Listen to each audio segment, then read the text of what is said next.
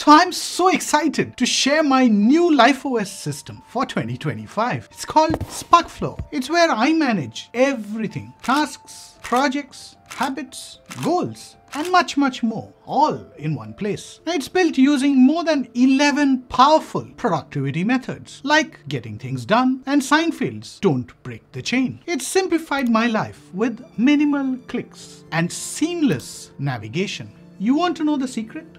It's all about weeks, small, manageable building blocks that make big goals achievable. In this video, I'll highlight 8 key features that make SparkFlow a game changer. Let's dive in.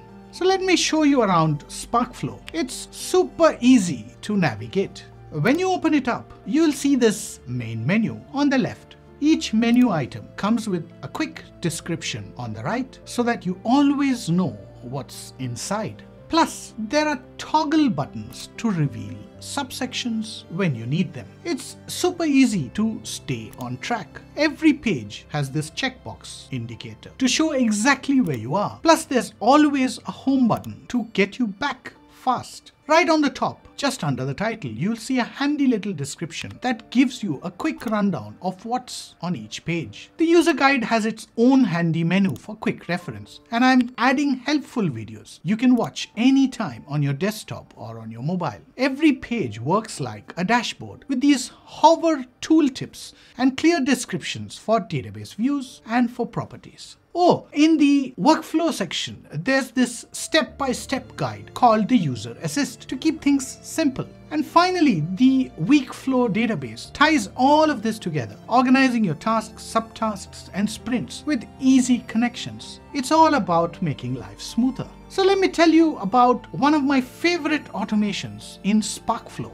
the mini calendar. So it's this six month rolling calendar that sits on the left hand side of the panel. It runs from Sunday to Saturday with these week numbers clearly labeled on the side. The current week number and today's date are automatically highlighted in this month's calendar, so you'll always know where you're at. You know what's the best part? It's completely dynamic. You don't need to touch it. It shows two months before, the current month, and three months ahead, all powered by Notion Formula. So it's native to the system. There are no embeds. And here's why it's so powerful. You see these week numbers? All those week numbers sync across all the other databases in SparkFlow like projects and tasks, keeping everything aligned. And it even calculates business days by subtracting weekends and any holidays that you've added to your personal calendar using this holiday master in the side panel. Now automations could link holidays. I figured it'd be slow and the system slows down for bigger databases. So I kept it simple and manual for the time being. Now Notion plans to release major performance improvements in 2025, which may allow us to reconfigure this feature then. Now you guys keep asking me, can we really make recurring tasks super simple in Notion? Well, the answer is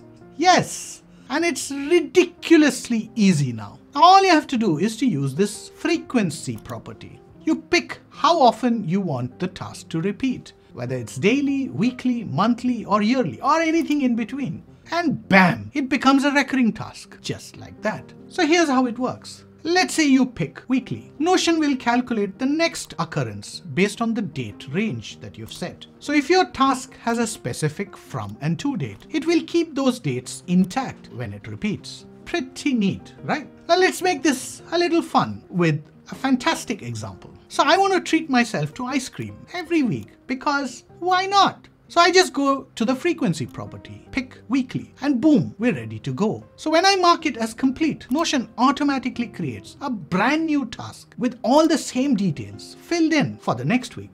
No extra typing is needed. Now let's spice it up. So my daughter says, Dada, I want ice cream every Saturday and Sunday. Easy fix. So instead of creating a separate task for each day, just head to the DOW property, short for day of the week, and add Saturday and Sunday. The frequency will automatically switch to DOW. And if you ever want to switch it back to weekly, it'll clear the DOW days that you've set.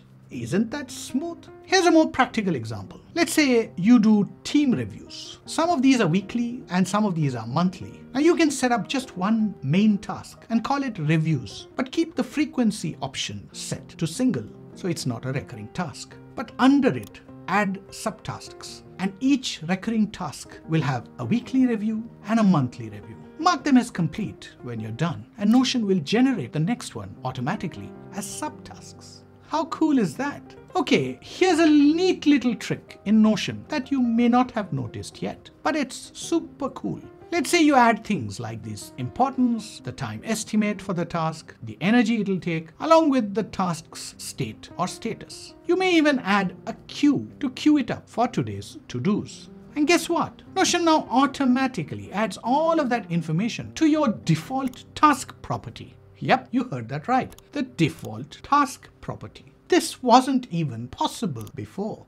Oh, and here's a fun one. If it's a bill payment, Notion will automatically tag the bill month for you. Seriously, this feels like magic. Now, if you hop over to your Notion calendar, you'll see all of those tasks details sitting out there along with the task. Say you've got an hour free before your next meeting. You can pick the task that fits your energy level and knock it out fast. Plus, you can check the queue number on what to prioritize next. Got a task that stretches across multiple days? No problem. You can even see if it's already been started or not. And now here's the ultimate hack. If you tweak the priority, the estimated time, or your energy requirements, everything updates automatically, both in the calendar and in the database. How cool is that? And it's like Notion is your personal assistant, keeping everything in check. So I wanted to make tracking habits much more fun. And what a better way to do this than Seinfeld's don't break the chain method. The idea is simple. You mark X's or checks on a calendar every time you stick to a habit. And your goal is to keep the streak going as long as you can. It's basically a habit building with the side of bragging rights. Remember that mini calendar I built in Notion with the weeks on the side? Yep, I figured out a way to bring this method to life right there. So here's how it works. You click this habit flow button inside of the month flow database and create a record for the day. And in the habit flow record, just tick off the habits that you just completed. Not sure what habit numbers match your habit names? No worries. You can configure this one time in the habit focus database. And now for the dashboards. You want to see your progress for the month? Check out the month flow database.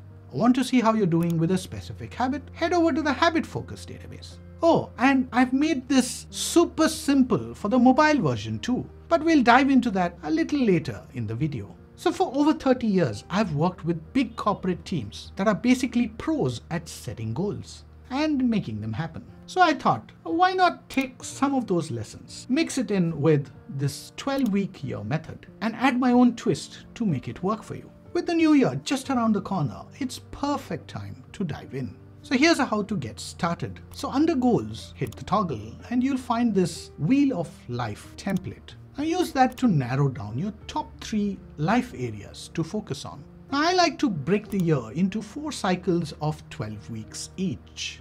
If you say week 1 to 13 with the first week of planning, that's a great way to structure your year and this uses Brian Moran's 12 week year framework. Once you figure out your top three life areas, you can create three or four goals for the year using these goal templates. In the goal flow, you'll find a SMART goals framework to guide you through this process.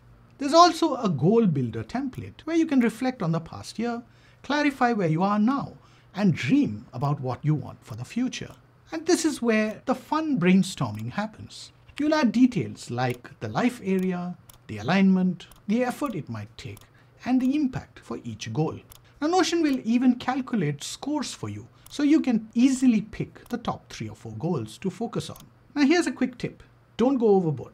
Too many goals will get overwhelming pretty fast. Once you've got your goals, hit the quick assign button to create objectives and key results. You'll find similar guidance for planning projects, weekly priorities, and tasks. Now here's a cool part. Those quick assign buttons, they're everywhere. They let you create linked records and carry over all the important information. So you'll spend way less time on data entry. The whole workflow is designed to help you breeze through goal setting in just a couple of hours. And don't worry, I'll cover the full 12 week year system in a separate video coming out in early January 2025. Now, sometimes the information you need about your projects and tasks depends on what's going on in the moment. Maybe you're checking on your day or planning for the next few days. You might be focused on what tasks are up next, or what bills need paying. Or maybe you're managing recurring tasks. You're trying to remember about a birthday or an anniversary. Or you're even planning for your next YouTube video. Want to focus on a specific cycle and its tasks? Done. Need to dive into project management, think Gantt charts, project statuses, bottlenecks, and all of that, you've got it. Plus, I'm planning to even add more perspectives throughout 2025 to make this system even more powerful.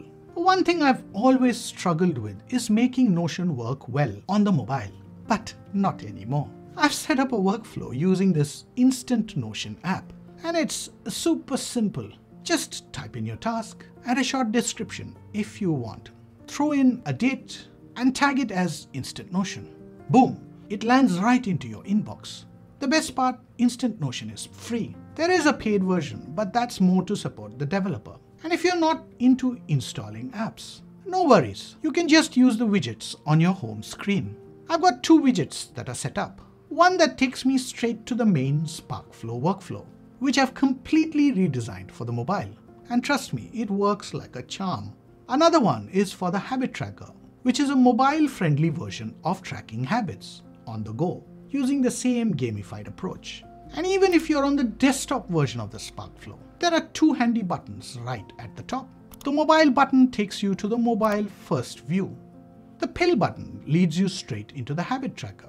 And I'm planning to add more views based on your feedback. So let me know what you'd like to see. You'll also notice that every menu has been simplified for mobile, making it super easy to use. And oh yes, you can set up recurring tasks right from your phone. Now you can find the link to this template in the description. You can write to me using the form in the description. And to see how I created some of these automations for workflow, you should watch this video. And if you're curious on how I created recurring tasks, you should watch this video.